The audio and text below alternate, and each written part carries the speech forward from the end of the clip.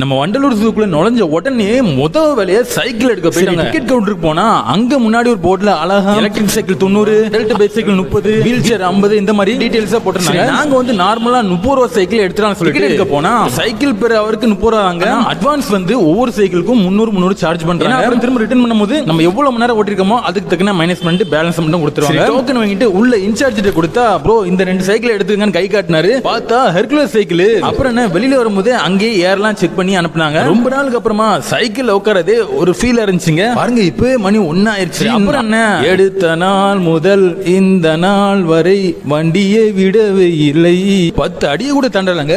அதுக்குள்ள பார்த்தா பெரிய மைதானம். அங்க எல்லாரும் எதையோ பார்த்து கை காமிச்சு கை காமிச்சு பேசிக்கிட்டே போறாங்க. நானும் நின்னு பாக்குறேன் ஒண்ணுமே தெரியல. சரி கொஞ்ச தூரம் தள்ளி போனா அடடே குரங்குங்க. அழகா கீழே தாவி குச்சி வந்து தண்ணியை குடிச்சிட்டு வந்த வழியே திரும்ப போயிருச்சுங்க. இது என்ன பிரமாதம்? இதோட பெசலைட் இருக்கு. வாங்க போலாம் சொல்லி பாருங்களேன் இந்த பாதையெல்லாம் ஓட்டுறதுக்குனே போட்ட மாதிரி. அழகா வளைஞ்சு நெளிஞ்சு ஓட்டுறதுக்கே செம்மையா இருக்குங்க. இதுவும் நம்ம என்ட்ரியில பார்த்த வண்டிங்க. அதாவது நம்ம ஃபேமிலியாகவோ இல்ல இந்த வயசானவங்க யாராவது கூட்டு வந்தோம்னா இந்த வண்டி புக் பண்ணா போதுங்க. மொத்த ஜூவே உட்காந்துக்கிட்டே ஜாலியா சுத்தி பார்த்துடலாம். சரி பாருங்க அங்க ஒரு கூட்டம் எதையோ பார்த்துக்கிட்டு சொல்லி சைக்கிள் ஸ்டாப் பண்ணி ஆனா ஒரு விஷயங்க. சைக்கிளுக்கு பூட்டு தான் கிடையாது. சோ அதனால தான் நம்ம பாப்பா இதுல ஒரு கண்ணை வச்சுக்கணும். சரி நிப்பாட்டிட்டு மேலே ஏறி போனா அடடே சிம்பன்சி. கையில குழந்தை வச்சுக்கிட்டு அழகா தலையை சொரிஞ்சுக்கிட்டு இருந்துச்சு. நாங்களும் அதை பார்த்து அழகா ரசிச்சுக்கிட்டு சைக்கிள் மேல ஒரு கண்ணை வச்சுக்கிட்டு உண்மையிலேங்க ரொம்ப நாளுக்கு அப்புறமா கையில சைக்கிள் கிடைச்சதுனால வந்த நோக்கத்தை மறந்து நம்ம ஆட்டுக்கு அங்கேயும் சுத்த ஆரம்பிச்சிட்டேன். சரிங்க. அப்புறம் எங்க போனோங்கிறத அடுத்த வீடியோல பார்க்கலாம்.